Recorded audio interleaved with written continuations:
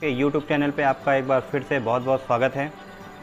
आज मैं आपके सामने एक नई सूचना के साथ उपस्थित हुआ हूँ। तो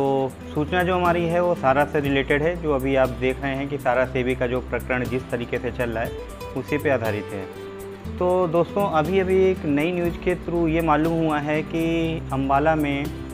हमारे जो भी इन्वेस्टर की तरफ़ से केस दर्ज हो गया है और इसमें सारा श्री जो हमारे हैं, सुब्रत राय सारा जी, उनके लिए बहुत बड़ी मुसीबत यहाँ पे तैयार हो गई है।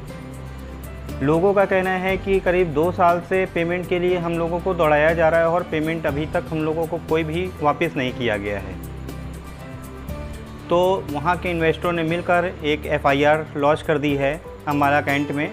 जहाँ पे उनके लिए एक मुसीबत और हो गई है कि अगर उनके लिए एक कोई भी नॉन वेरेबल वारंट अगर जारी कर दिया जाता है तो एक बार फिर से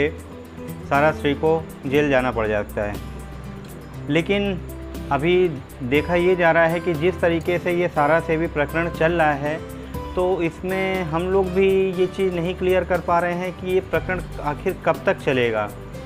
यहाँ पे पेमेंट की जो बात हो रही है, कभी बोला जाता है कि दो महीने वेट करें, कभी तीन महीने वेट करें, और कभी कभी मतलब जो भी इस तरीके की न्यूज़ होती हैं पेपर में भी आ जाती हैं, या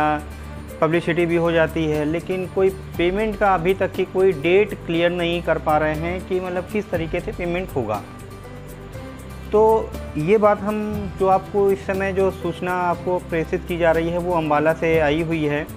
जिसमें कि इन्वेस्टर कंपनी के ऑफ़िस जा रहे हैं और उनको पेमेंट नहीं मिल रहा है। ये वाक़ करीब दो साल से चल रहा है और वहाँ के लोग जो मतलब जो भी इन्वेस्टर हैं, वो इतना ज़्यादा परेशान हो चुके हैं कि इस समय वो मतलब किसी की भी सुनना नहीं चाहते हैं।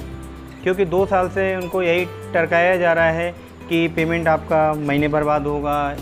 पंद्रह दिन के बाद होगा, और जो हमारा जमा करता है, जो हमारा इन्वेस्टर है, वो इसी आस में चलो कि भाई हमारा पंद्रह दिन के बाद, महीने भर के बाद पेमेंट हो जाएगा, वो एक तसली लेके जाता है। लेकिन जब वो फिर उसी टाइम पे दोबारा जब जाता है तो पता चलता फिर उसको एक आगे की डेट मिल जाती है। तो इस तरीके से हमारे जितने भी इन्वेस्टर हैं, वो बहुत ही ज़्यादा खफा हो चुके हैं। और इसके अलावा जितने भी हमारे जो साथी वर्कर्स हैं, जो कि वहाँ पे काम कर रहे हैं, जिन्होंने अपने इन्वेस्टर का पेमेंट वहाँ पे लगवा रखा है तो वो भी इस समय बहुत ज़्यादा दुखी हो रहे हैं। क्योंकि उनको भी यही चीज़ बोली जाती है कि भाई, आप पेमेंट क्यों नहीं करवा पा रहे हैं? लेकिन अंदर की तरफ़ से कोई भी सुनवाई नहीं हो पा रही है कि पेमेंट किस तरीके से किए जाएँ। वहाँ पे केवल बस यही बोला जाता है कि आगे जब तक कोई फर्दर इन्फॉर्मेशन नहीं आती है पेमेंट के लिए, तब तक हम लोग आपको कुछ भी नहीं बोल सकते हैं। वहाँ पे एजेंटों के ऊपर दबाव भी बनाया जा रहा है कि आप एक मतलब हमारे पास इन्वेस्टमेंट के लिए आप कस्टमर से उनकी एफ़ डी लेके आइए और एफ़ डी के एवज में आप अपने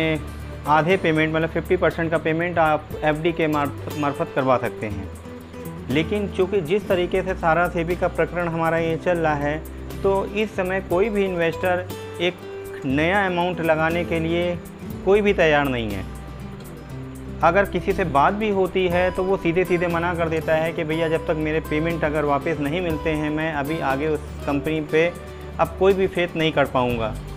क्योंकि एक समय ऐसा था जब कंपनी के ऊपर लोगों का इतना फेथ था कि अगर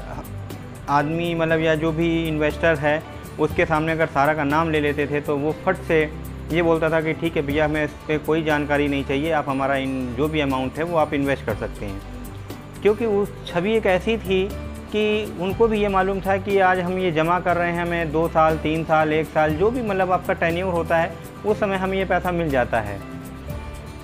ये सारी दिक्कतें हमारी करीब 2012 और 13 के बीच से स्टार्ट हुई हैं। अगर हम तेरह को भी ले लेते हैं तो करीब करीब हमारा इस समय आठ साल से ओवर हो चुका है, जो कि इन्वेस्टरों का पेमेंट अभी तक नहीं हो पाया है।